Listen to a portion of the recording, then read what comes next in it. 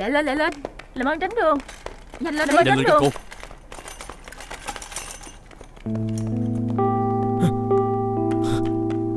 Bác sĩ ơi Nhanh Làm lên. cứu con tôi bác sĩ. Nhanh đi bác sĩ ơi. Đưa bệnh Làm nhân ơn cứu con tôi đi bác sĩ. Dạ dạ. Bác sĩ làm ơn cứu con tôi nha bác sĩ. Em có sao không? Em không có sao hết. Đi nhanh lên. Không biết là anh ta có bị gì không nữa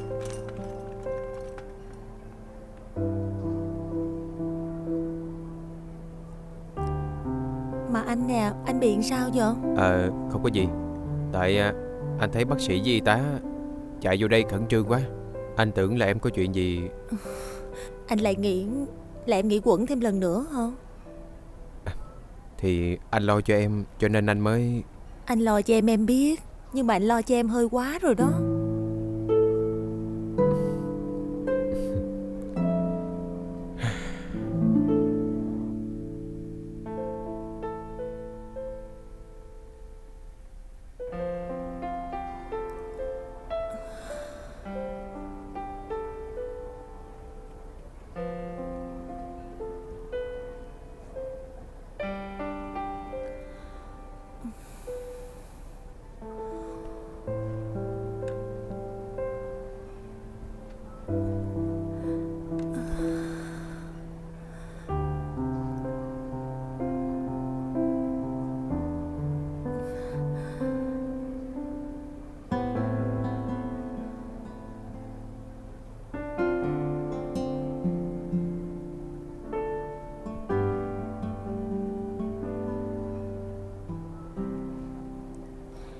Khi không, lại trở thành người tàn tật như vậy.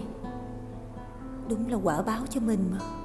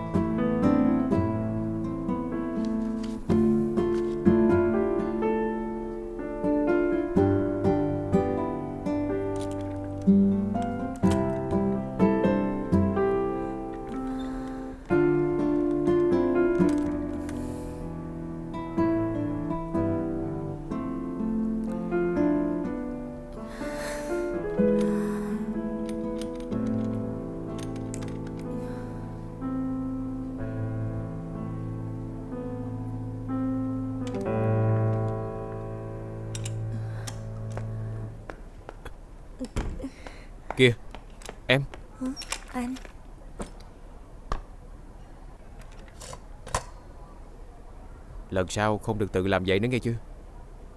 Lỡ em té thì sao? Đâu phải lúc nào em té cũng có anh bên cạnh đâu. Anh phải để cho em tập té dần đi chứ. Không khi nào anh để em bơi dơ một mình hết.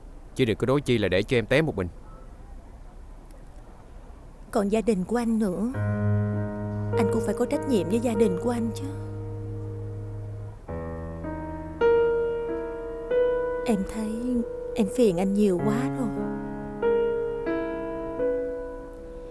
Bây giờ em chỉ ước gì Em có thể về nhà Đón cô Bin. Bữa giờ Không biết cô Bin Nó như thế nào nữa. Tất cả mọi việc cũng từ em mà ra. Lại nữa rồi. Bác sĩ nói là em phải vui vẻ lên, Thì bệnh mới mau hết được. Em cứ tự trách bên ngoài. Chuyện này là ngoài ý muốn mà. Mà em cứ yên tâm về cô Bin đi. Anh vừa gọi về nói chuyện với con rồi. Nó vẫn khỏe. Nó chơi với chị Na vui lắm. Với lại, nó rất hợp khẩu vị Với những món ăn của Nhiên nấu. Thôi anh, Bây giờ em cũng đã gần phục hồi rồi. Chịu anh cho em về luôn nha. Bữa giờ không gặp cô Bin. Em nhớ cô Bin quá rồi.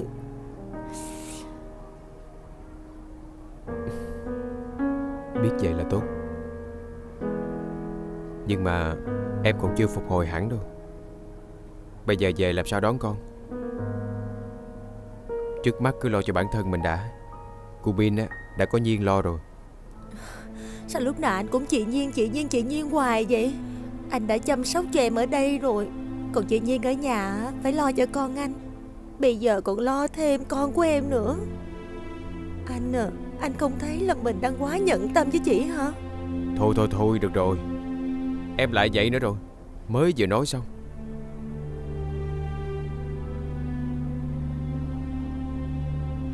Không biết tại sao Hai đứa mình lại quay trở về với nhau Chi vậy Để xảy ra chuyện như thế này Phụ nữ sinh ra đã khổ lắm rồi. Bây giờ em còn làm cho chị Nhiên khổ hơn nữa. Nếu bây giờ đặt vào vị trí của chị Nhiên, Không biết là em sẽ đối xử như thế nào nữa, Em phải cư xử như thế nào nữa. Chứ bây giờ. Em nói anh phải làm sao?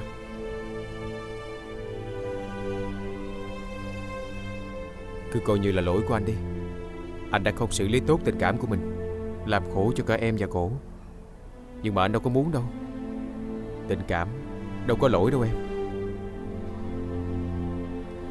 Thì Bây giờ mọi chuyện đã xảy ra như vậy rồi. Dù gì mình cũng phải quay về thành phố thôi.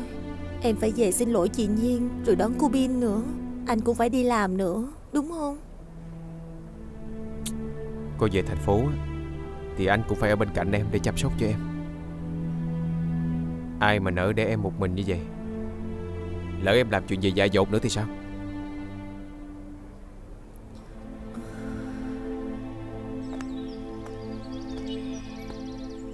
Chị? Hử? Dì Tư mua một ký hả chị? Ừ. Mệt cái bà này ghê á. Cứ mua từng ký từng ký à. Rau của mình thì chưa tới ngày thu hoạch.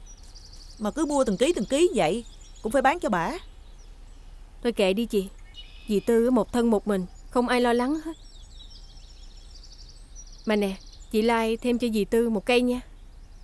Trời ơi Cái gì mà nhiều vậy? Sáu cây một ký là già rồi. Đưa thêm như vậy không thiệt mới lạ. Thì coi như mình khuyến mãi cho dì Tư. Có thiệt thòi gì đâu. Ôi, Tôi không hiểu cô luôn á. Lúc nào cũng ờ, nhận thiệt gì cho mình à. Cứ nghĩ cho người khác. Còn nói là không có thiệt thòi gì đâu Vậy chị lấy vợ cho chồng, Có thiệt thòi không? Chị cũng vậy mà. Nghĩ cũng đúng. Nghĩ thiệt mà không thiệt. Bây giờ á, Hai đứa con của ổng á, Cứ qua đây chơi với chị hoài à. Còn gọi chị là má nữa. Nhiều khi á, chị nghĩ tới cũng mát cả ruột. Không cần phải đẻ. Tự nhiên lại có hai đứa con. Đâu có thiệt thòi đâu. Đúng không em? Cuộc đời sắc sắc không không. Tưởng vậy á, Đôi khi lại không phải vậy, Tưởng rằng không chịu nổi. Nhưng mà cuối cùng cũng đủ sức vượt qua. Đôi khi cảm thấy thật là phi thường.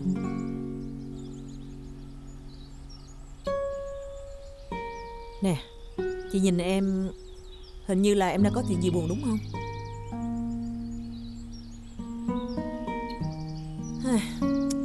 Ngày xưa mẹ của chị nói Phụ nữ vốn sinh ra là để chịu thiệt thòi cho đàn ông. Thì mình cũng ráng hy sinh cho chồng của mình đi. Tròn phận rồi thì cũng về với đất à. Làm ma nhà chồng thì cũng được yên, có đúng không? Suy nghĩ cực đoan của thời xưa.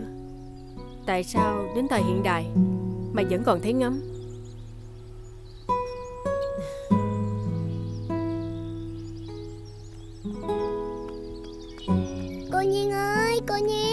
Cô Nhiên, nhìn nè cô. Kỳ không cô Nhiên, con bắt được con trùng trùng đỏ rực luôn á. Tặng cô Nhiên nè. Nè Không có được phá nghe không? Dạ, Ừ Chị đi giao rau cho dì Tư nghe. Bye cô. Đây là chuồn chuồn ớt đó. Cánh chuồn chuồn mỏng manh Kéo về cơn mưa bão. Trái tim người có mỏng manh chăng Hay quá cô ơi. Có con chuồn chuồn mà cô cũng đọc thơ được nữa. À mà cô Tại sao người ta gọi là chuồn chuồn ớt vậy cô? Ừ, Thì con nhìn nè. Chuồn chuồn này nó đỏ rực giống như là trái ớt vậy đó. Thân nhỏ, cánh mỏng. Nhưng mà bay nhanh lắm Sẽ không ai bắt kịp được nó đâu. Chắc con này bay hoài. Có thể nó đã mỏi mệt rồi Cô biết nhiều điều hay thiệt đó. Vậy cô kể cho con nghe Về những chú chuồn chuồn đi cô. Ừ, Cô hả? Cô chỉ biết như vậy thôi à? Ừm, Nhưng mà hồi sáng giờ con chơi ngoài vườn hoài à Chưa có ăn gì hết. Thôi à, hai cô cháu mình kiếm cái gì ăn ha? Dạ. Đi.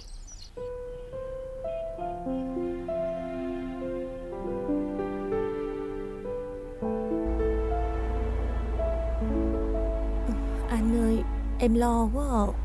Không biết gặp chị Nhiên Chị Nhiên có hận em không nữa? Từ nãy tới giờ em nói câu này hơn 10 lần rồi đó. Em suy nghĩ chi mấy cái chuyện này hoài vậy? Đằng nào chuyện cũng đã xảy ra rồi. Nhiên cô sẽ biết cách tự làm cái gì mà. Anh đừng nói chuyện dửng dưng những cái chuyện đó Không phải chuyện của mình vậy chứ. Chứ bây giờ em nghĩ rồi em giải quyết được cái gì? Chỉ khiến căn bệnh của em càng nặng thêm thôi. Nhiên cũng biết phải làm cái gì mà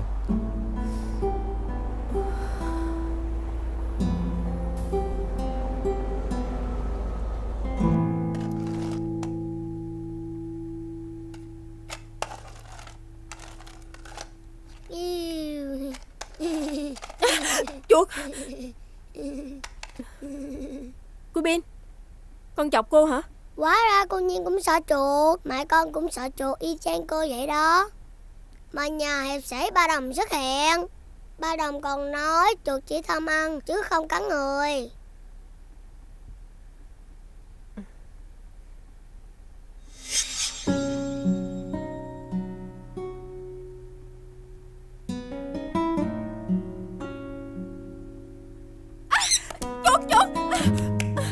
Nhiên. Chuyện gì vậy hả? Chuột. Kìa Đâu? Đâu? Nó chạy mất tiêu rồi. Để anh coi coi. Nhà mình hồi đó vậy đâu có chuột đâu. Sao tự nhiên hôm nay có chuột vậy?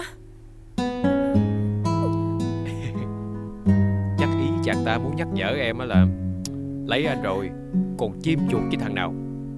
Chết với anh đó nha. Hay quá ha Chuyện nhảm vậy mà anh cũng nghĩ ra nữa. Ủa Nhưng mà nếu ngược lại thì sao đây? Ờ thì Nhưng mà Anh sao có chuyện đó được? Mà Trước khi lấy chồng em cũng vô mấy cái trang mà Mấy bà mẹ hay nói chuyện với nhau á. Bà nào cũng nói là 99% đàn ông đều có bồ hết Còn 1% á là Mấy người khờ khờ á Không lẽ phụ nữ ai cũng phải chịu vậy hết hả? Trời Chuyện tào lao vậy mà Mấy bà nghe quan tâm chỉ cho mất công. Ngoại tình còn phụ thuộc vào tính cách của từng con người. Như anh nè Em thấy không? Đàng hoàng như vậy Con gái mà nó sấn vô anh là anh đẩy nó ra liền. Trời ơi, đẩy ra? Hay là kéo vô vậy? Em vậy thì làm sao mà anh có bộ đành cho được? Ừm, Không vậy thì anh sẽ có bồ hả Em yên tâm đi, Nhất định là không bao giờ. Nhưng mà anh nói cho em nghe nè, Mấy cái bà đó dại vô cùng. Chồng có bộ Là phải ngọt ngào, Níu kéo đưa chồng về chứ. Ở với bộ đang ngọt ngào biết mấy, Về với vợ bị xua đuổi hất hủi. Nổi như tát nước vô mặt vậy. Em coi, Họ nên đi hay ở lại? Đó, Biết ngay là đàn ông, Ai cũng giống nhau hết. Ai cũng như ai là sao? Đâu để coi Em biết tay anh như thế nào.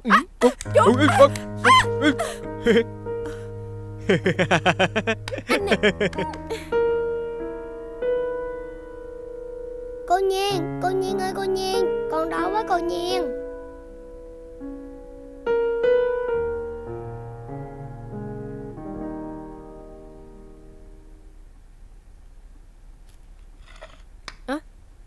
Phát hiện cô Bin ăn dụng nha. Nhưng con đói quá cô Mà con gọi cô hoài cô có để ý con đâu. Vậy hả? Nhưng mà cô Bin rửa tay chưa? Hồi sáng con rửa rồi. Rửa từ sáng lận hả? Dạ. Nè con xòe tay ra. Con đếm coi có biết bao nhiêu con vi khuẩn trên tay con rồi kìa. Dạ cô sẽ rửa ra xong rồi vô ăn liền nha cô. Ừ.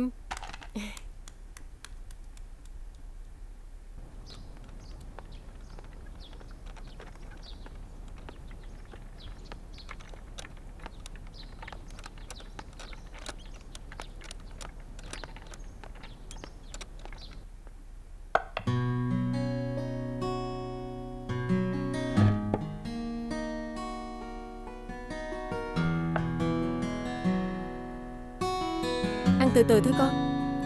Ngon quá cô ơi. Ngon cũng phải ăn từ từ Coi chừng mắc nghẹn đó. Dạ.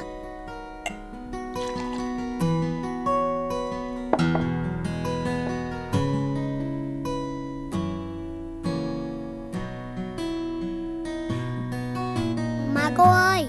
Mai mốt mẹ con nhớ con về. Lỡ như con thèm món này Cô làm cho con ăn nữa nha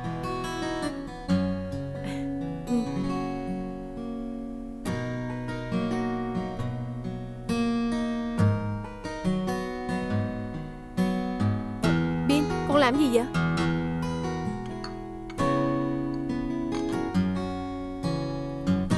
Con lấy cái dĩa làm gì?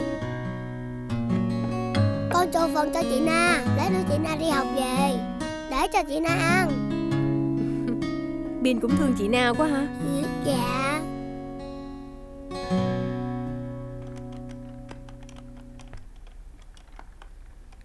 Ừ, Nè. Hả? Anh hay là anh vô đó một mình đi. Em chờ ở ngoài này cũng được rồi. Đằng nào thì Nhiên cũng đã biết rồi. Anh nghĩ là cô ấy sẽ thông cảm cho mình mà. Với lại sức khỏe của em không được tốt. Ngồi ở ngoài đây không có được đâu.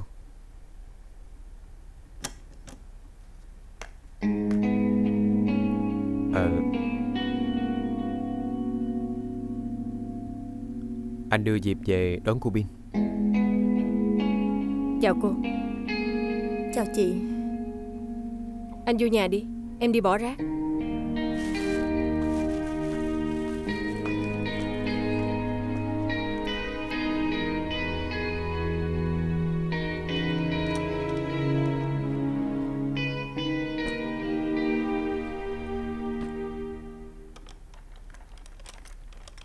Hey!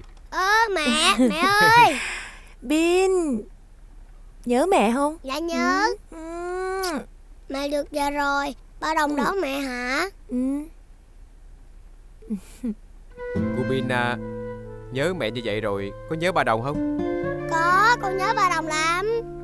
Ngoan. À mẹ ơi. Ơi, Mai mốt mình không ăn nhà hàng nữa nha. Tại sao vậy con? Qua nhà cô Nhiên ăn đi mẹ. Cô nấu nhiều món ăn ngon lắm á mẹ. Mẹ với ba đồng vô ăn sushi với con nè ngon lắm.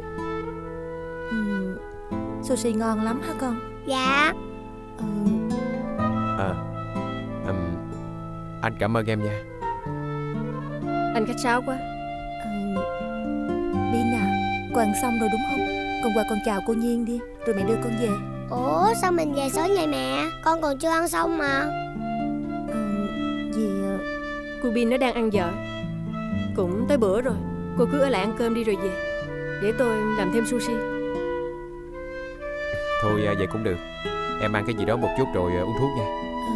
Vậy thôi để em vô phụ chị. Phụ cái gì? Chân em còn đang đau Làm sao đi đứng lại được? Cứ ngồi yên đó đi.